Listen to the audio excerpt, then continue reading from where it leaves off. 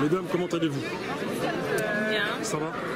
Ça va, il y avait plein de monde et ça, Mhm. ça, ça nous fait plaisir qu'il y ait euh, bah, autant de monde déjà pour euh, se rappeler qu'il y a un jeune homme de 24 ans qui est mort, être euh, voilà, en soutien à sa famille et notamment aux frères Traoré qui aujourd'hui sont en prison et subissent une répression très forte alors qu'ils demandent à ce que la vérité soit faite sur la mort d'Adama Traoré.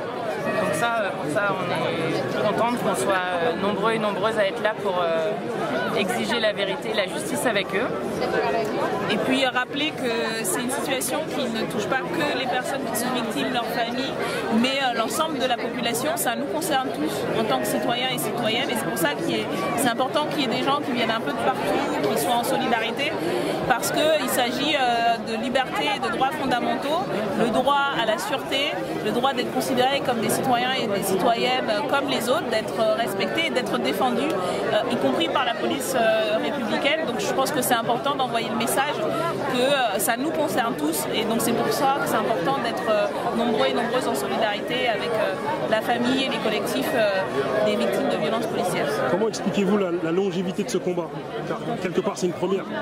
Qu'un combat contre les violences policières, qu'une famille se mobilise autant sur un, sur un, sur un, comment dire, sur un, sur ce temps, sur euh, cette si longue distance.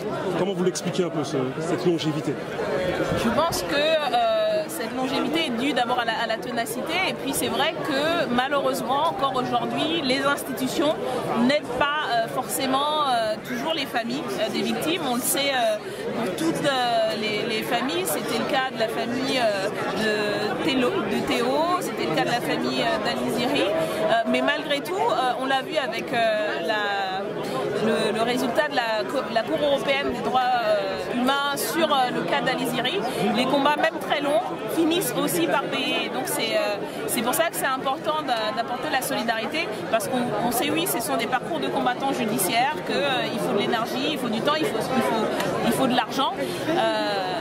Et c'est aussi notre responsabilité en tant qu'élus de faire en sorte que ce ne soit plus le, parcours de combattant pour obtenir justice.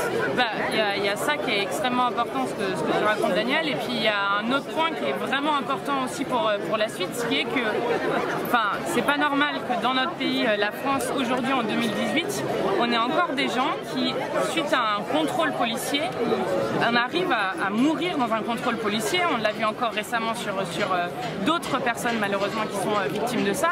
Et là, il y a vraiment des choses à réfléchir en tant que société.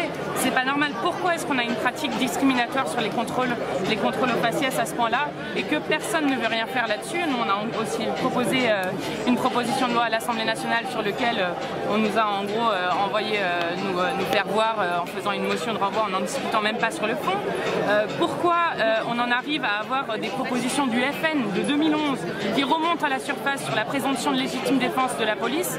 Donc il y a vraiment des choses à, à réfléchir sur la relation police-citoyen et citoyenne et des pratiques à interdire. Par exemple, la pratique qui du coup obstrue les voies respiratoires c'est des pratiques qui sont interdites dans d'autres pays d'Europe. Pourquoi est-ce qu'on continue à faire ça? Là, on voit des statistiques qui montrent que euh, l'usage des armes par la police est en train d'exploser. Enfin, à un moment, il faut se poser ça pas comme des cas individuels, mais comme des problèmes de société. Et je pense que pour le coup, le combat que fait euh, la famille Traoré pour euh, savoir la vérité et la justice sur la mort de leur frère, eh ben, c'est un combat universel sur ce point-là et qui concerne en fait beaucoup plus de cas que juste malheureusement le cas d'Adama Traoré. Merci à vous. Merci.